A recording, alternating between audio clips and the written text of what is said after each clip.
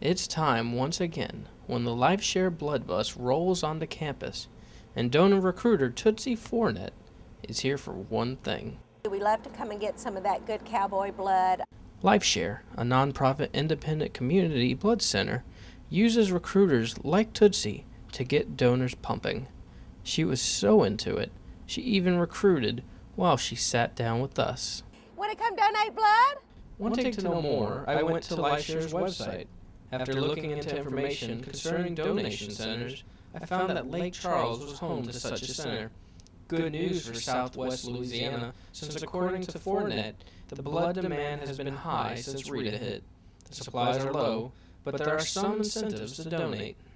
The best incentive is that you're saving somebody's life. I mean, you cannot give anything greater than the gift of life, which is donating blood. You can't manufacture blood. It has to be from, from a person to give it.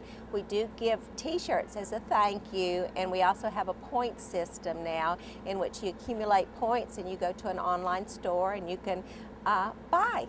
After our conversation, I wanted to show the viewers what a typical blood donation looked like.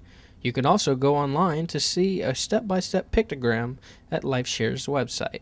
First, I filled out an information form. Then, a blood sample was taken. Don't worry, it only stings a little. This, along with some confidential questions, are to keep possible hazardous blood donations from taking place. After finding the right vein and some solution to numb the pain, the needle was inserted. I was told what to do if I felt lightheaded, and the nurses kept a constant eye on both my consciousness and my blood flow.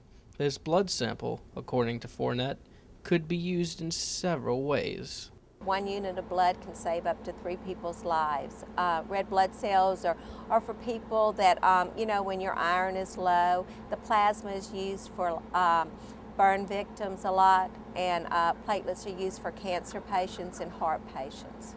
The pain was minimal, and the procedure went smoothly. If this blood was used to save someone's life, then it seems like benefits far outweigh the cost. For Inside McNeese, I'm Sean Herndon.